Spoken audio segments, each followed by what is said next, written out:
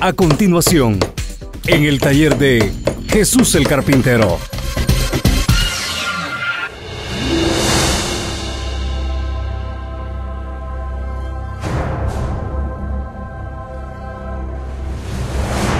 Bueno, vamos entonces a Juan capítulo 4, el versículo 21, y de ahí vamos a pasar al versículo 23 y 24.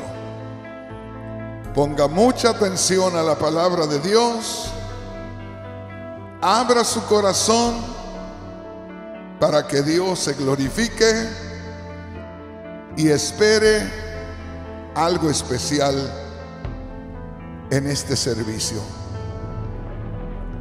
¿Ya lo tenemos todos? Dice así, Juan capítulo 4, versículo 21, y de ahí nos pasamos al 23 y luego al 24. Dice así, Jesús le dijo, mujer, créeme que la hora viene cuando ni en este monte ni en Jerusalén adoraréis al Padre. Verso 23. Mas la hora viene y ahora es cuando los verdaderos adoradores adorarán al Padre en espíritu y verdad, porque también el Padre tales adoradores busca que le adoren. Verso 24. Dios es espíritu y los que le adoran en espíritu y en verdad es necesario que adoren. Puede tomar su asiento. Y quiero que ponga atención, porque aquí la protagonista la importante, vamos a decir así, la estrella fue una mujer. Dios usó a una mujer para dejar una enseñanza maravillosa. Quiero que pongan atención. hasta ese momento que el Señor tuvo esa plática con una mujer, se buscaba a Dios, pero de una manera más religiosa. Se buscaba a Dios con reverencia, se buscaba a Dios con temor, pero no se tenía una relación de allá de adentro con Dios era más de compromiso, era más de respeto, era más de la mente, pero no era de espíritu. Ya lo vamos a ver eso más a fondo. Y basados en lo que nosotros aprendamos de esta plática del Señor Jesús con una mujer, de ahí puede venir una gran bendición. Porque ahí precisamente hace más de dos mil años se empezó lo que ahora nosotros debemos de experimentar. Y hablo de el cristianismo en general. Entonces, dense cuenta aquí que el Señor Jesús trató con una mujer y hermanos, hermanas, aquí dice la palabra de Dios que el Señor debía pasar por Samaria, tenía un negocio en Samaria. ¿Y cuál era ese negocio? Encontrarse con una mujer. Y el encontrarse con aquella mujer era para usarla, para por medio de esa mujer dejar una revelación para todo el cristianismo. Por eso ustedes mujeres deben de sentirse halagadas de parte de Dios, que usó a una mujer como medio para revelarnos algo en este día. En otras palabras, todo viene de Dios. Aquella mujer no era mejor mujer espiritualmente que ustedes. Era una mujer así como son ustedes. Ustedes son tan mujeres como aquella mujer. No son menos que aquella mujer. Pero el Señor escogió aquella mujer para dar una revelación de una de las raíces más fuertes del cristianismo. ¿Y qué es eso? Es la adoración a Dios. Es la forma de relacionarnos con Dios de espíritu a espíritu. Eso es lo que nos enseña esta porción de la Biblia. Que antes se buscaba a Dios por el entendimiento, se buscaba a Dios por el respeto, se buscaba a Dios de una manera religiosa, pero Dios quería algo más. En otras palabras, Dios, nos, que, Dios no quería que lo conociéramos con el entendimiento. Dios quería meterse a lo más profundo de nosotros y conectarse con nuestro espíritu. Y usó a una mujer para darnos esta revelación. Y yo quiero que ustedes se den cuenta que el Señor, no la mujer, necesitaba ir a traer agua. Ojalá que me entiendan. Esto es lo que tenemos que aprender, cómo Dios se mueve, cómo Dios obra. Entiéndame por favor que aquella mujer no era que tenía que ir a traer agua, era que tenía que ir al pozo porque ahí estaba el Señor esperándola. En otras palabras, el Señor le puso el sentir a aquella mujer de ir al pozo. Ella pensó que iba a traer agua, pero Dios sabía que no era para ir a traer agua a Samaria, era para ir a traer el agua de vida de Cristo, no el agua del pozo para saciar su sed y para lo que necesitaba en el hogar. Sintió la necesidad de ir al pozo de Jacob porque se iba a encontrar con aquel que le daría el agua viva. Por eso cuando viene a sacar el agua, quiero que ustedes se den una idea que era una mujer y ahí había un hombre. Y esta mujer no iba muy tranquila, porque imagínense que va llegando al pozo a una distancia y hay un hombre sentado ahí. Cualquier mujer se va a sentir incómoda con deseos de regresarse mejor. ¿Quién será ese hombre? ¿Qué planes tendrá? ¿Qué intenciones tendrá? Solamente él allá y ella sola llegando al pozo. ¿A poco hubo momentos en los cuales sintió el deseo de regresarse? Pero ella ya no se podía regresar. Ya Dios la estaba atrayendo, ya había tomado posesión de su corazón y le estaba trayendo al pozo, al grado que llega aquella mujer y empieza nerviosamente a sacar el agua con su cántaro lo más pronto posible para regresarse, irse de ahí, alejarse de ahí.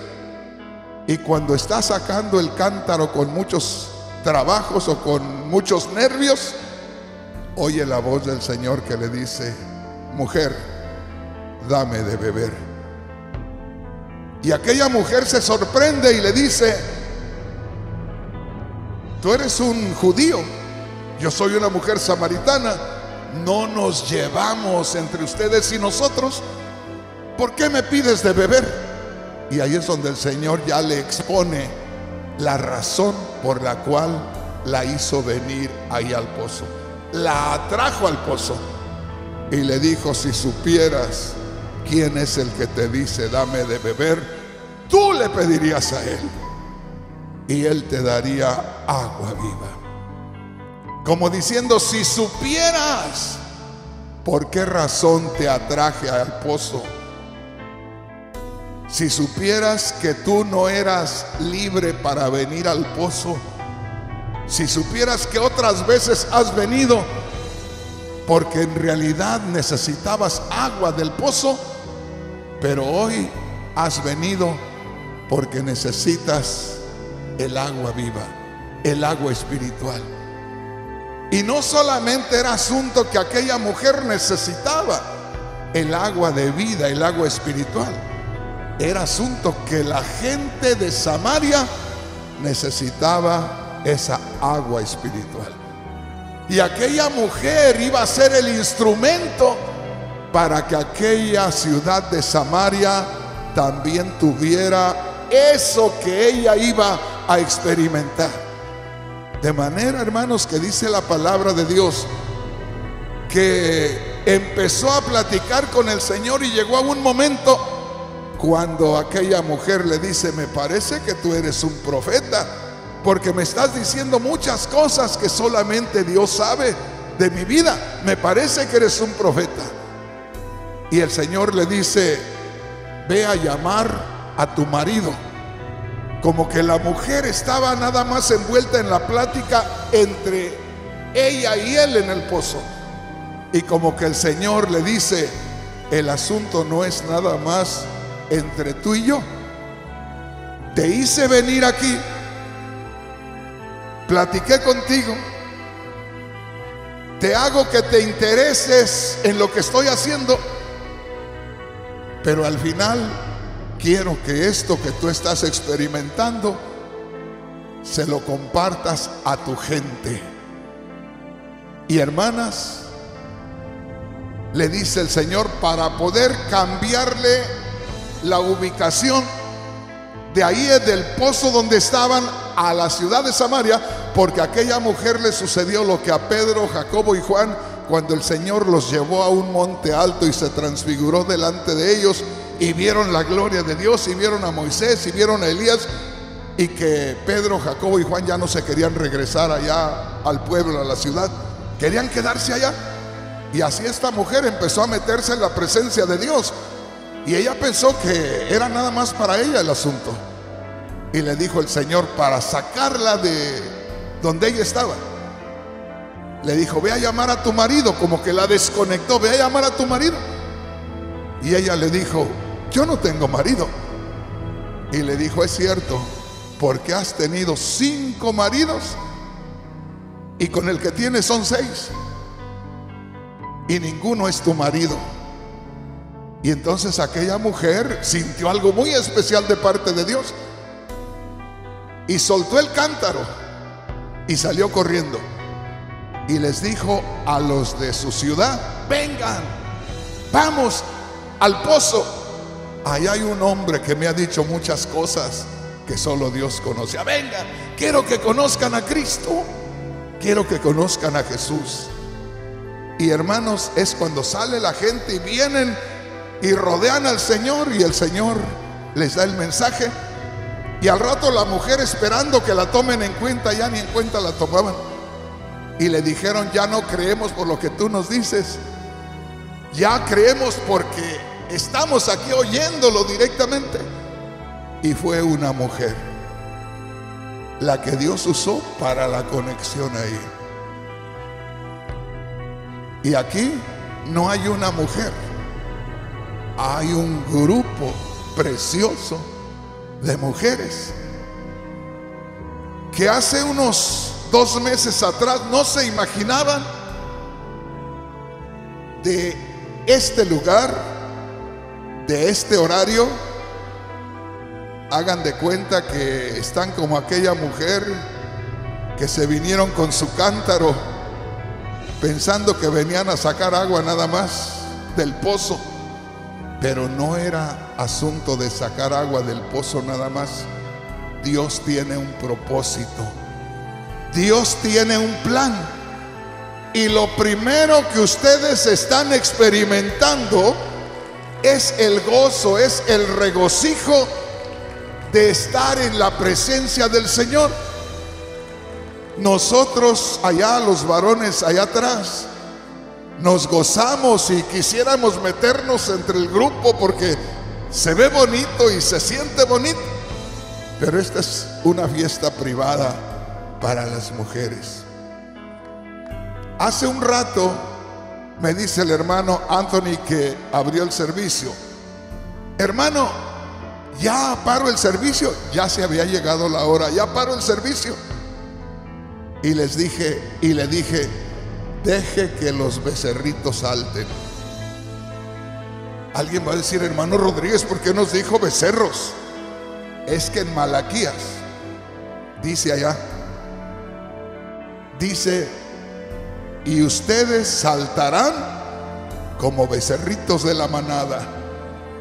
O sea, cuando venga la bendición, pero muchas de ustedes no saben lo que es un becerrito. Levanten la mano las que no saben que es un becerrito. Las que no saben que es un becerrito, levanten la mano. ¿Todas saben que es un becerrito? Nadie. ¿Todas saben que es un becerrito? Bueno, un becerrito es el crío de la vaca. Y hermanas, el becerrito nace y, y no se puede parar. Parece que se abre de las patitas así, se va a abrir de pecho y va a caer hasta que se van afirmando las patitas. Pero eso es por un par de horas. A las cuatro o cinco horas ya anda pegando unos saltos, pero tremendos. Levanta las patitas para atrás como de este alto. O sea, gozoso de estar en este ambiente. Y por eso cuando me dijo el hermano, hermano, ya les paro el servicio, ya digo, deje a los becerritos que salten, déjelas que se gocen. Nosotros hay que cuidarlas nada más ahí. Hay que cuidarlas, déjelas que se gocen en la presencia del Señor. Amén. Gloria a Dios. Quiero que ponga mucha atención y quiero que deje que el Espíritu Santo se mueva dentro de usted. Yo quiero que en estos momentos se dé cuenta lo que dice ahí, cuando usted ya ve esa porción, lo que es el verso 24, dice, Dios es espíritu y los que le adoran en espíritu y verdad es necesario que le adoren. Acuérdense, ya vimos el principio de esto la primera vez en el primer mensaje. Solamente hay una forma de adorar a Dios en este tiempo, la cual agrada, complace completamente a Dios. Ahí estaba una mujer que era descendiente de los samaritanos. Y los samaritanos adoraban a Dios ahí en el monte Gerizim, ahí enfrente de ellos. Y los judíos adoraban en Jerusalén. Y aquella mujer le preguntó al Señor, Señor, ustedes dicen que se adora a Dios en Jerusalén. Nosotros adoramos a Dios aquí, como diciendo, por fin, ¿dónde se debe adorar a Dios? Y aquí es donde, hermanos, el Señor le dice, mujer, ya viene la hora, ya es la hora. Como diciendo, ahora que yo muera y resucite, ahí queda ya establecido. Que de ahí en adelante ya no va a ser un lugar, ya va a ser algo interno. Ya no va a ser un lugar, va a ser la disposición de allá de adentro de la persona. Ya no un lugar, ya no un espacio allá afuera. Este lugar de adentro de nosotros. Por eso dice, Dios es espíritu. Y como Dios es espíritu, puede entrar dentro de ti. Y tú eres espíritu. Hermana, tú tienes espíritu de Dios. Cuando Dios te formó en el vientre de tu madre, dice que ahí recibiste el soplo de Dios. Eso es lo que te ha dado la vida, lo principal, el soplo de Dios. Y a ese lugar tan, tan importante y a ese lugar tan especial es a donde Dios, que es espíritu también, quiere venir. De manera que al creer en Cristo el pecado es removido y Dios que es espíritu puede llegar allá a lo más íntimo de nosotros. Y llega a lo más íntimo de nosotros porque Dios es el que provoca la oración. Es decir, Dios es el que como niños pequeñitos nos enseña a orar, nos dirige en la oración, pero de allá de adentro, fíjese bien, de allá de adentro, en esta tarde las voy a invitar a que oren sin palabras. Fíjese bien, y en esta tarde alguien va a tener una experiencia que no se imaginaba que existía. ¿Cómo que orar sin palabras, hermano? Sí. Ve pensando en lo que te voy a decir. Y si una sola de ustedes tiene esa experiencia, quiere decir que sí es real. Porque si nadie tuviera la experiencia, dudaríamos que eso sea real lo que yo le voy a decir. Pero si una sola de ustedes tiene esa experiencia, quiere decir que es real. Y no voy a parar hasta que todas ustedes tengan esa experiencia. ¿De qué hermano? Les dije que hay que aprender a orar o adorar a Dios sin palabras. ¿Cómo, hermano? Hermanas, ¿alguna vez ha tenido usted un dolor tan grande que no le ha permitido siquiera hablar? ¿Alguna vez ha visto a una madre que pierde a su hijo? o a una esposa que pierde a su esposo, que el dolor es tan intenso, es tan profundo, que no le salen palabras, solamente gemidos, un dolor interno, pero no hay palabras. Ese es el dolor más profundo.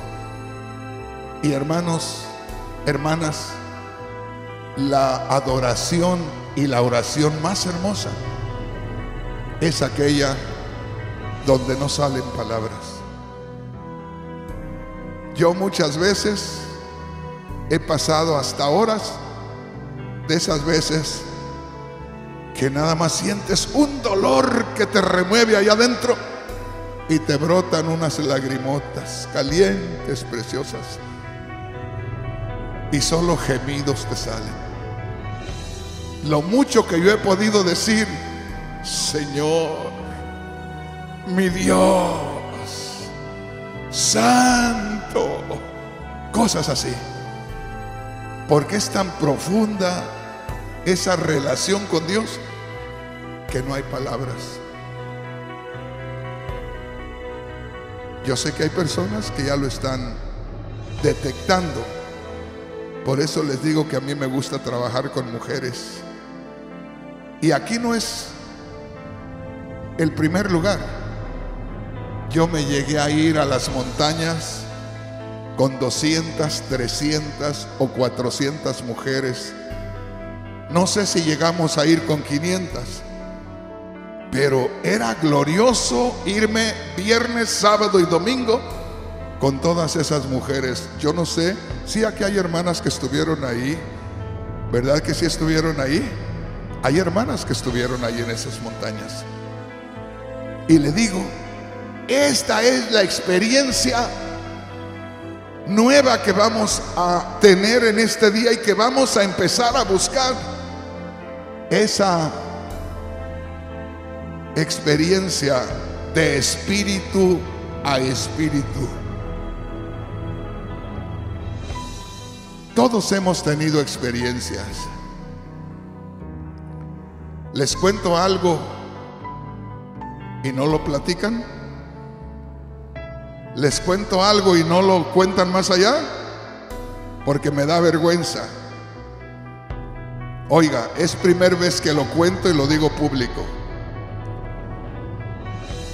Hay personas que se han atrevido a decir, ese viejo Rafael Rodríguez es un rabo verde, porque dejó a su esposa que tenía, lo cual yo jamás la dejé, y se casó con otra. Y yo les digo, no.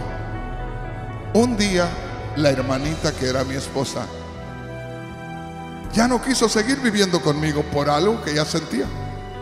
Y yo lo respeté. Y ella se separó, se divorció y yo lo respeté. Lo sufrí, pero lo respeté. Porque yo la amé con todo mi corazón. Y hermanos, hermanas, esto fue algo que me dolió mucho, pero pasó.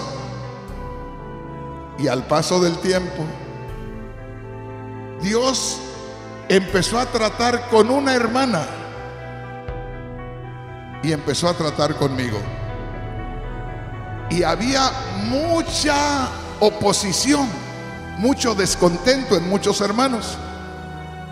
Pero a mí nunca me ha importado lo que piensen los hermanos, sino lo que Dios determina. Y de pronto sucedió algo que otro día les cuento porque no hay tiempo.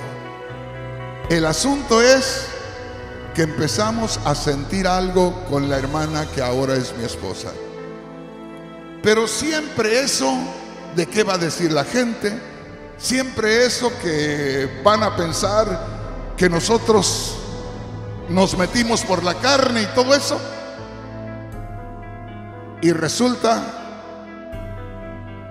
que llegamos a un acuerdo que mejor dejábamos eso pendiente y que la hermana que ahora es mi esposa se iba para su tierra. Lo hicimos nosotros, lo determinamos ella y yo, no se puede, mucha gente se va a estorbar, mejor te vas.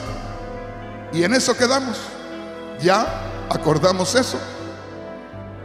Ella se iba a ir, y yo me iba a quedar al frente de la iglesia.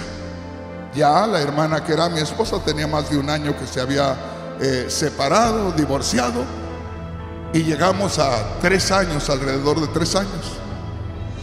El asunto es que cuando acordamos que ella se iba y yo me dedicaba a la iglesia, esa tarde, sin que yo lo buscara, y yo le voy a decir, hermanos, hermanas,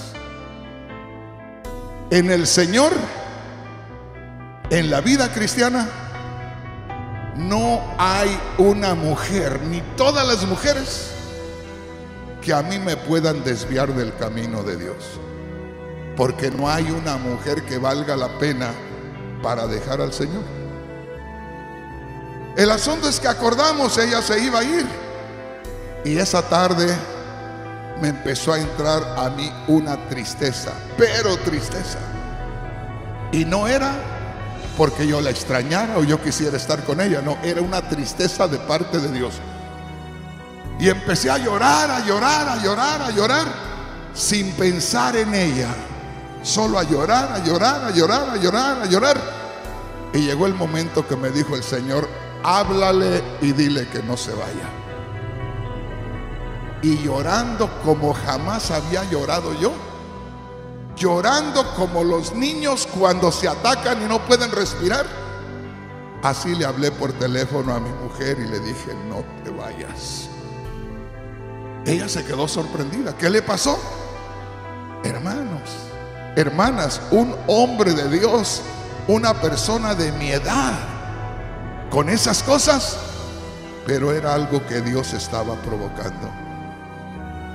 Así se mueve Dios y yo no podía hablar.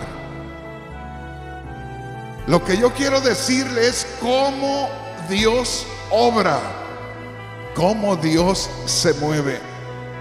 Y lo que quiero decirle que esa vez yo no podía hablar palabra.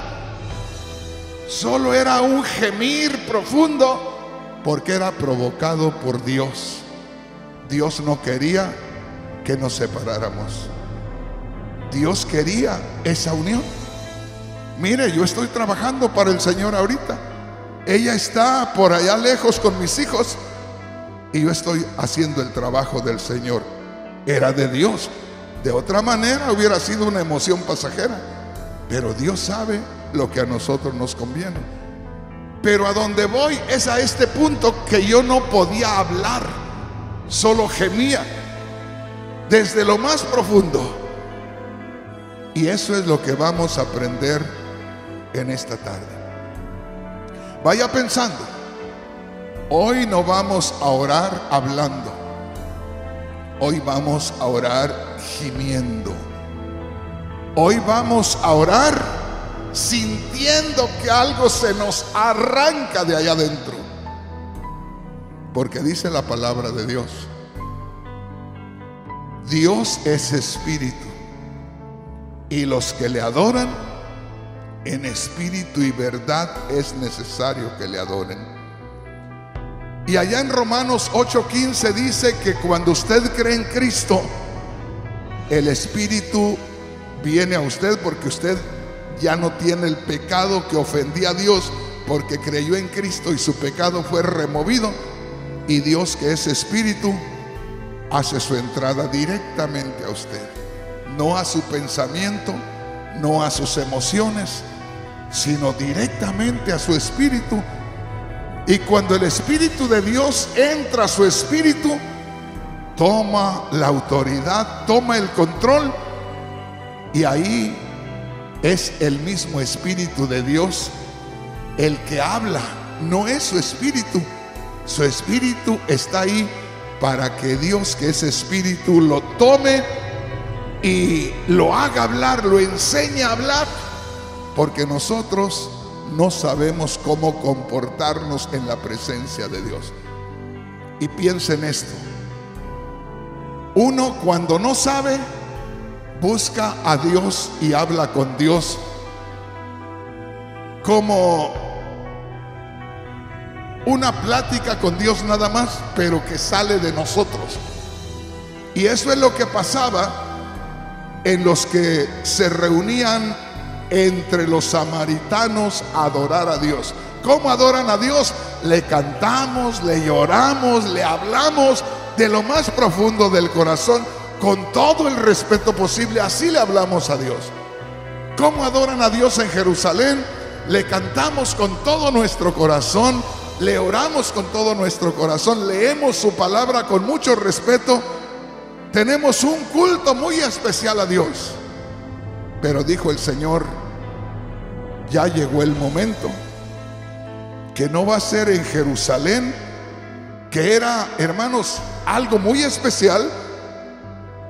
Dios les había dicho que en Jerusalén iban a orar, que ahí se iba a pedir a Dios, pero llega el momento ahora que les dice, ya no.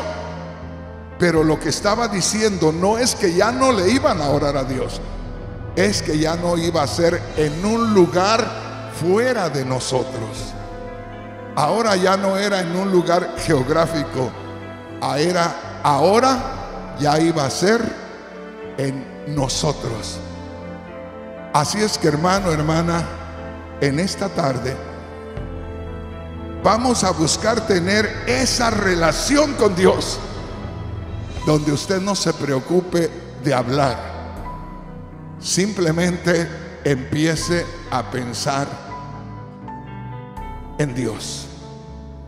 Por ejemplo, hay muchas mujeres aquí que un día se enamoraron. No vamos a dar datos, pero un día se enamoraron, pero de veras se enamoraron. Y si tuvieron de pronto una mala experiencia que no fueron correspondidas, qué feo se siente, ¿verdad, hermanas? Posiblemente no me entienda, yo sí lo experimenté una vez. Qué feo se siente cuando usted tiene todas las ilusiones y puede hacer lo que sea por tal de tener aquella persona, de no perderla, puede hacer lo que sea. Y de pronto se quedó sin aquella persona. Y se queda que no hay palabras. Y solamente de allá de adentro se recuerda y le salen las lagrimotas aquella. Y respira profundo. No hay palabras. Solo hay dolor. Solo hay gemir. No sé si me explico. Vaya pensando en la oración en espíritu. Cuando dice, tales adoradores adorarán al Padre en espíritu y verdad, quiere decir que el mismo Dios que es espíritu entre allá lo profundo de la persona y sea esa presencia de Dios que te haga sentir que se te va el aliento, que te haga sentir que se te acaba la vida y que no hay palabras. ¿Quién va a tener palabras ante la gloria de Dios? La Biblia dice, hermanos, que un día el sacerdote andaba ministrando en el templo y de pronto empezó una nube a llenar el templo y al rato el sacerdote ya no pudo ministrar. La gloria de Dios era tan fuerte que el sacerdote ya no pudo hacer nada, seguramente que se quedó ahí temblando ante la gloria de Dios. A ese punto vamos a llegar. Y no hay oración más gloriosa que la oración que arranca, que la oración que guía, que la oración que liderea el Espíritu. En otras palabras, no es una oración suya, es una oración del Espíritu que le enseña a su espíritu y a mi espíritu cómo debe orar. Ya de ahí, cada vez que usted ora, simplemente se conecta espiritualmente y empieza con esa relación de Dios y usted muy íntima, muy personal, muy especial. Y después de unos 10 minutos de esa oración, usted se queda como que le sacó todo lo que estorbaba, porque es un momento como aquellas personas que lo tomo de la manera respetuosa, aquellas personas que tienen problemas con sus riñones, creo que se les daña la sangre, y que tienen que purificarles la sangre por un aparato, sale por un lado, pasa por el aparato y vuelve a entrar ya purificada. Y haga de cuenta que nosotros nos metemos en ese purificador espiritual. Venimos como viene el que le hacen diálisis y lo conectan con la máquina. Nosotros venimos en estas ocasiones, nos conectamos con esa máquina celestial y empieza esa relación de espíritu a espíritu. Empieza esa comunicación espiritual donde Dios que es espíritu se mueve por todo tu ser, comenzando por el espíritu y se va moviendo y va sintiendo que estás en la gloria de Dios. No quieres parar, no te importa lo demás. Por eso es que Pedro, Juan y Jacobo cuando estaban allá en el monte de la transfiguración, se olvidaron de todo. Pedro dice la Biblia que era un hombre casado, tenía mujer, Yo creo que tenía hijos. Y estando allá donde el Señor se transfiguró, Pedro dijo, Señor, ¿quieres que hagamos tres enramadas? Una para ti, otra para Moisés que se apareció y otra para Elías que se apareció. Estaba diciendo, acá nos queremos quedar en este monte. Y los demás discípulos, allá déjalos. Y la gente, allá déjala. Y el mundo que necesita conocer el Evangelio, allá déjalo. Aquí está. No podemos dejar esto. ¿Sí me entiende, hermano? Y tus hijos, Pedro, ¿cuáles hijos? Lo más importante era aquella relación.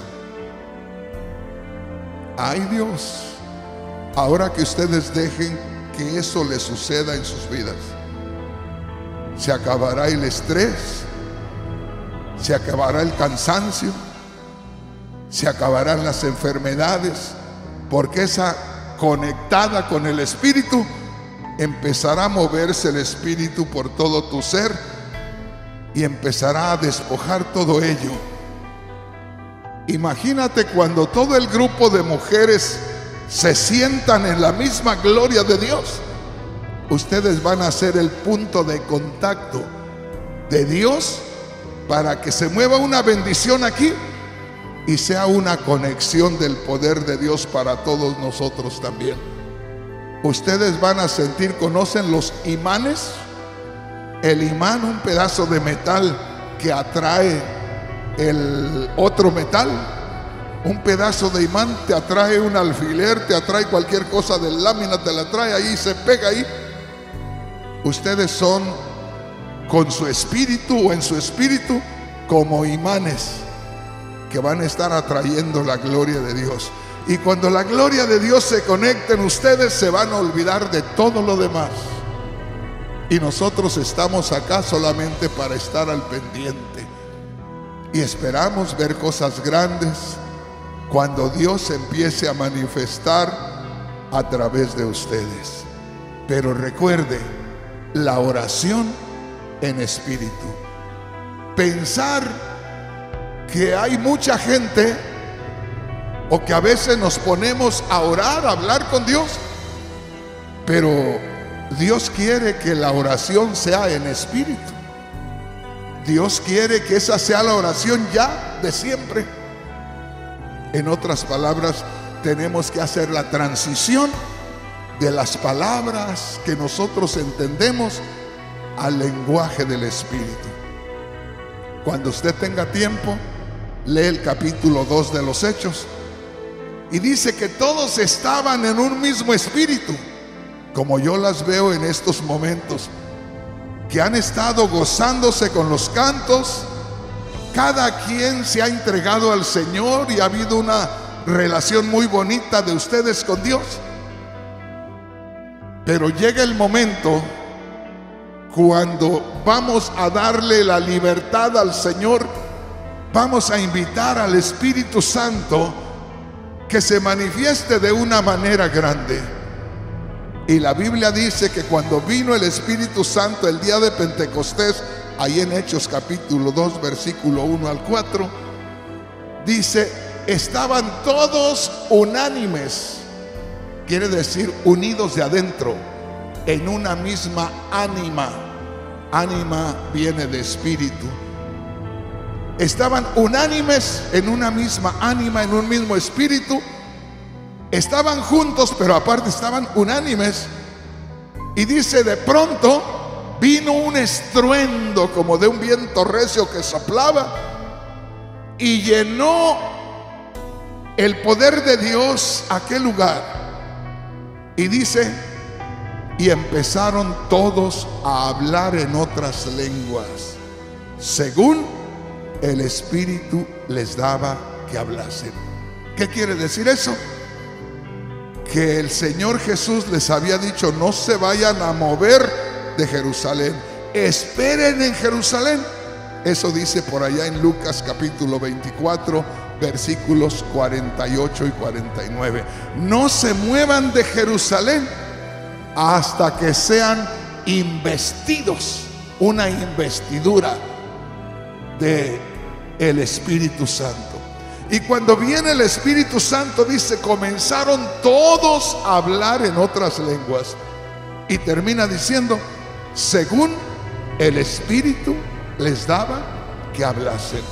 En otras palabras, el Espíritu, Dios Espíritu, había tomado lugar en su Espíritu y era Dios el que hablaba a través de su Espíritu y estaban conectados todos directamente con Dios. Y es lo mismo que dice el Señor Jesús. Tales adoradores busca Dios que le adoren. Dice, ese tipo de adoradores son los que agradan a Dios. Muchas veces dicen, Dios anda buscando adoradores. No, hermanos, Dios no anda buscando a nadie. Lo que dice ahí es que Dios quiere que de esa manera le adoren después de haber creído en Cristo Jesús. Que así se debe adorar a Dios en el nuevo pacto. Que así se debe adorar a Dios en este tiempo.